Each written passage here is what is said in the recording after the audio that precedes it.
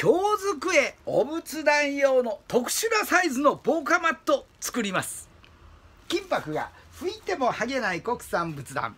お仏壇の販売が天職永田幸喜でございます。2019年7月15日金曜日今日の開運動画でございます。あの、実はですね、お客様からご依頼いただいたですね、防火マット、防火防煙マット、京机に敷く燃えないマットですね、安全でございます。これご注文いただきました。誠にありがとうございます。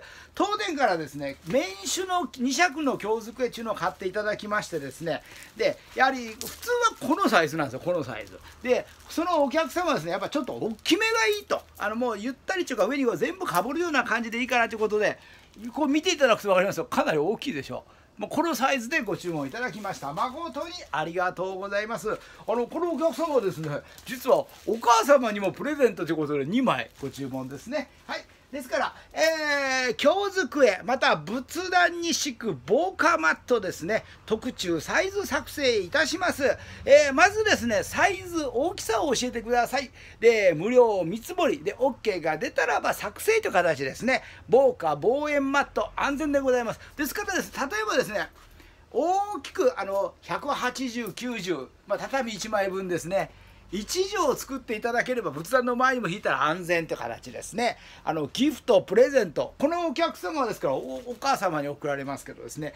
ギフトプレゼントにもとても喜ばれると思います。それとですねガラスでいいんじゃないかっていうご意見もあるかと思いです、ま思いますけどガラスはあれ割れるんですよ。あの例えばですねこういう金属製のこういう仏具がありますよね。これをガラスのようにポンと置いたらですねパリンと割れます。ですからもう我々はですねやっぱりで値段もそんな変わ56000円であんま変わらないんですよね。ですから我々はもうこちらの方のマットを今おすすめしております。ですからですねはい。あの非常にですねいろいろなサイズ大きさですね我々が作成可能でございますあの仏具の専門店でございます一つ皆様よろしくお願い申し上げますはい。では、ここまでこの動画を聞いていただいてありがとうございました。心よりお礼を申し上げます。皆様の開運をあって、お祈り申し上げます。